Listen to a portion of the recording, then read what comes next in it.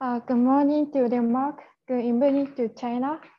Uh, it is a great honor to be able to speak to you. My name is Mariko Nakamura, Waseda University in Japan. Uh, today, I will talk about my research, advanced voltage control method for improving the voltage quality of low voltage distribution network with photovoltaic system. In this research, we propose a method to optimize the control parameters of OLTC and PV inverters to reduce the voltage violation amount in a digital system with PVs. And I will also discuss the simulation results to verify the effectiveness of this proposed method. Here is the outline of my presentation. First, I will talk about the background and purpose of this research. Secondly, I will explain the control method of OLTC and the proposal method. And thirdly, I will discuss the simulation conditions. After that, I will show you the simulation result. And finally, I will conclude. Let me begin by talking about the background to, on the next slide. In, in recent years, the world has been working toward decarbonization. And in the energy field, photovoltaic system PV has been attracted a lot of attention. While PV is environmentally friendly, a large amount of PV causes reverse power flow. As a result, the voltage can violate from the upper limit at daytime, like this. Therefore, electric power company needs countermeasures to prevent this voltage violation.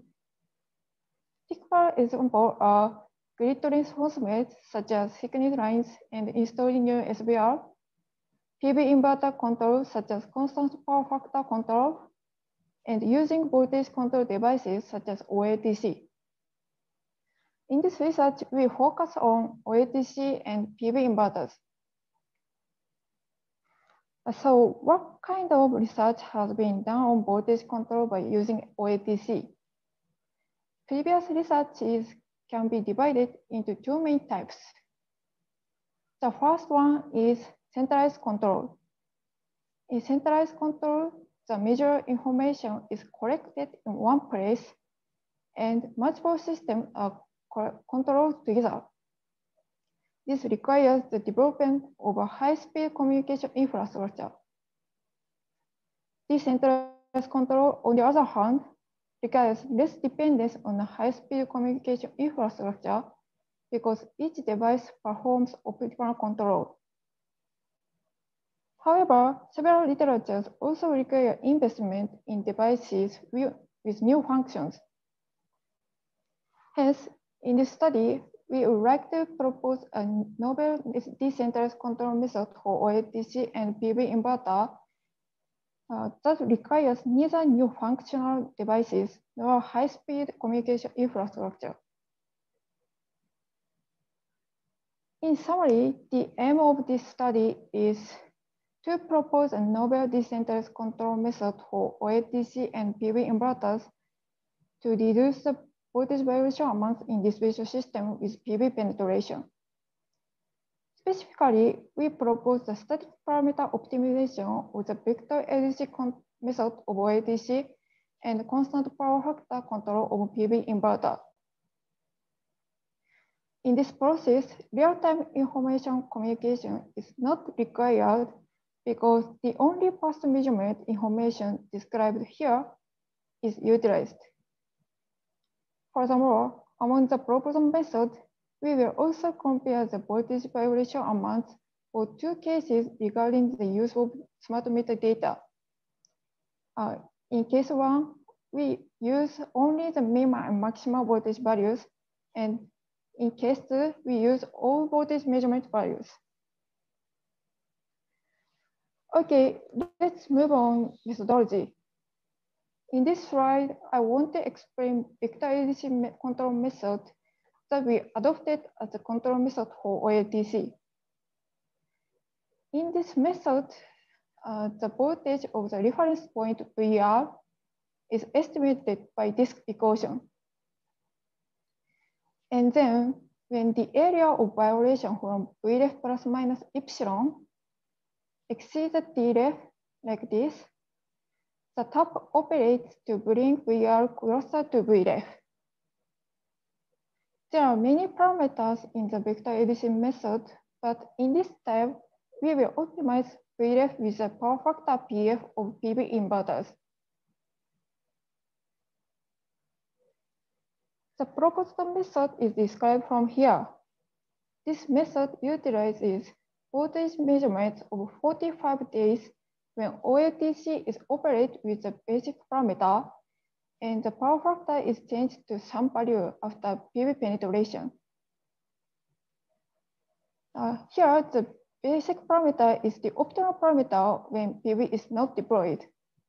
In addition, we choose LV system at the root in the end of each feeder as a measurement locations. Look at this figure. The proposal method consists of three main steps. First, in step A, the permissible voltage range of MV nodes are determined from the LV system's voltage information. Next, in step B, we estimate how the MV voltage would behave if the value of VREF were changed. Finally, in step C, we determine the parameters the voltage at measurement points is least likely to violate by exhaustive search. From the next slide, each step will be explained in detail. Here, in step A, the permissible voltage range of MV node is determined. First, the voltage drop is calculated from the measurement voltage on the primary side of the transform transformer and each LV consumers. Then the permissible voltage range of the primary side is determined so that all LV consumers voltage can be within 95 to 107 volt. This figure shows an example. When the voltage drop is like this, the voltage value on the secondary side must be within 100 to 106 volt because this consumer need to be at 107 volt and this consumer uh, need to be at 95 volt. Therefore, the permission voltage of the primary side is equal to the secondary side one multiplied by the transformation ratio. In this way, the permissible range of the MV node can be determined based on the LV system's voltage trend. Next, I will explain step B in detail. In this step, we first simulate the tap behavior when VREF is changed based on the vector addition method using measurement data of OLTC. And when the simulated tap position is different from the measurement one, like this time, uh, the voltage at MV node is calculated by adding or subtracting the tap width as shown in this figure. Uh, this slide is about the last step of proposal method. In step C, we calculate deep the amount that the estimate voltage violates the permissible voltage range. The optimal parameter is what minimizes the sum of squares of deep. If there are multiple combinations that take the minimum value, we calculate the distance from the median of permissible range, this. And the combination that minimizes the sum of squares of this is identified as the optimal parameter. This is explanation of the proposal method. Now, let me describe the numerical simulation conditions. We prepared a 45-day data set for determining optional parameter and a 30-day data set for evaluation. For this simulation, we used six feeder model. The red point in the, this figure indicates the measurement points. And Three cases of PV penetration rates are prepared uh, 25%, 50% and 75% of all LV consumers. And in all cases, PV is deployed from the end of the grid. This slide summarizes the method used for comparison. We determine the parameters with five different methods. The first one, PV0opt, is used to compare with the proposed method, which optimizes PV without PV systems. And Pro1 and Pro1PF use the minimum and maximum voltage value of the smart meter measurements, while Pro2 and Pro2PF use all voltage measurements.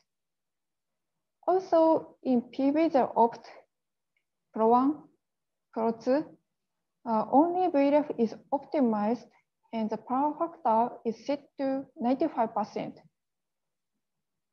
Uh, from the next slide, the simulation results under above conditions will be discussed. First, I show the results of the optimal parameter values. From these tables, it can be seen that the optimal parameter values are selected according to PV penetration rate. In addition, the higher the PV penetration, the larger the value of VREF and PF was selected.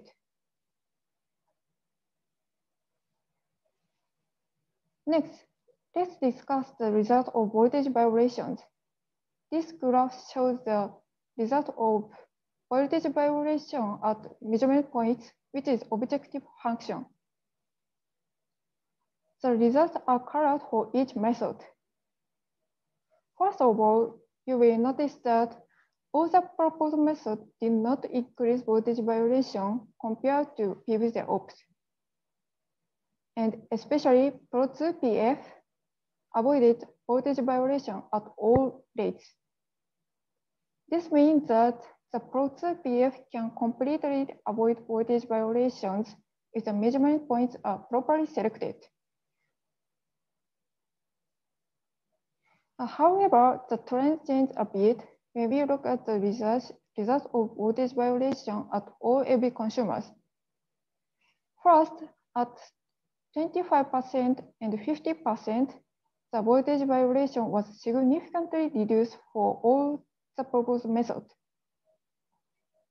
On the other hand, at 75%, Pro1 and Pro1PF show the same effectiveness as PV0opt while Pro2 and Pro2PF increased it. Overall, it can be said that Pro1PF was appropriate for reducing the bio voltage violation amounts at all LV consumers. Uh, finally, we will discuss why the method using only the minimum and maximum values was able to reduce the voltage violation amount at all LV consumers. This graph shows the permissible voltage range of the MV node determined in step A. The area between dotted and solid line is permissible voltage range of each method. From this graph, we can see that the permissible voltage range of Pro1PF is narrower than Pro2PF. Uh, in other words, the parameters of Pro1PF were determined under severe conditions. Therefore, Pro1PF was able to select parameters that are less likely to violate, even if power flow conditions are different from those of data acquisition period. Okay, let me finish with the conclusions. In this study, we propose a method to cooperatively optimize LTC and PV inverter parameters. The simulation result shows that the proposed method can significantly reduce the voltage violation amounts, especially when the PV rate is 25% and 50%.